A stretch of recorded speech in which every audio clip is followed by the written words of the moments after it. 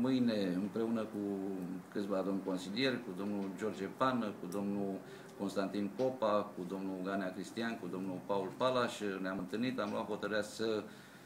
convocăm într-un fel grupul politic al Consiliului Local pentru ziua de mâine, orele 13, pentru a analiza cu toții